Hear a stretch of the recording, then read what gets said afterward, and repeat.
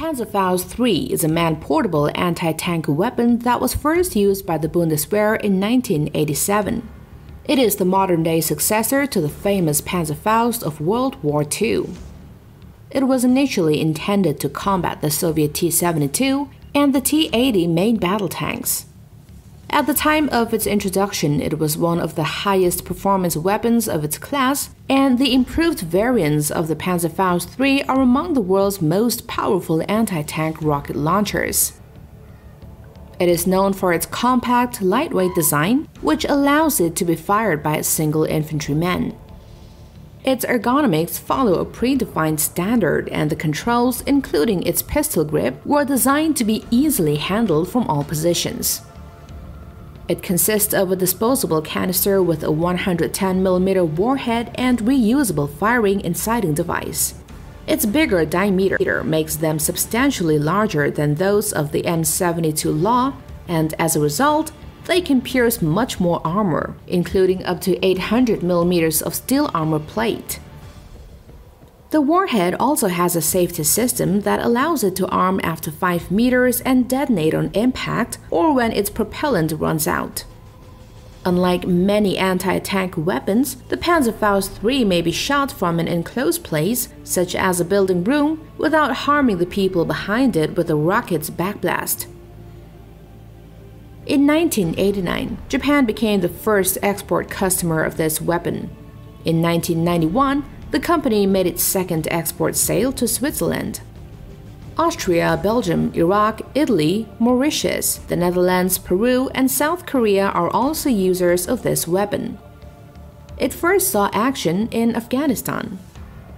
Over the years, many Panzerfaust III variants have been mass produced, the first of which is the Panzerfaust 3T, which was a major upgrade on the original. It introduced the dual hollow charge 3T tandem heat warhead, which included an explosive charge in its spike. This pierced explosive reactive armor, or ERA, allowing a second warhead to damage a tank's primary armor. It is effective against target to 300 meter moving, 400 meter stationary, which is the same as the original Panzerfaust III.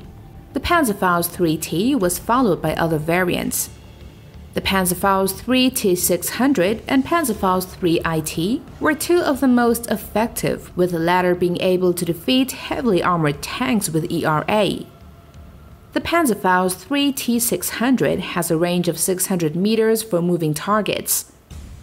The Panzerfaust 3 IT600, its most recent model, also has a range of 600 meters owing to its Dynarange firing control unit, which assists with sighting and targeting. It is capable of penetrating 900 plus millimeter armor behind ERA.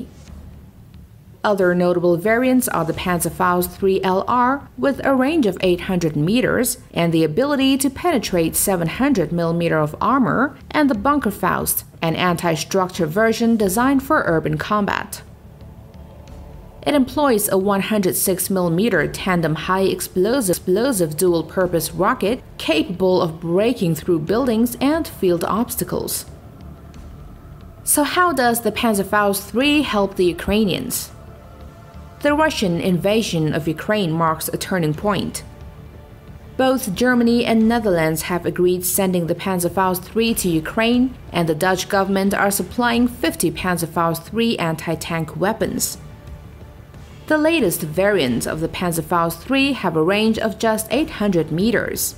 In comparison, the Russian T-90 tank's main gun, the 125mm 2A46, has a range of more than 3,000 meters. As with other anti-tank weapons, the person firing it must remain hidden until attackers are within range and must be able to move rapidly after shooting but the Panzerfaust III is still a formidable threat to the armor, with recent variants containing a double explosive charge, one to detonate explosive reactive armor defenses that are common on many Russian tanks, while the second charge penetrates the armor. Many pictures and videos have been circulated in social media that the Panzerfaust III has hit some Russian tanks, implying that it plays a significant role for the Ukrainians against the Russian invaders.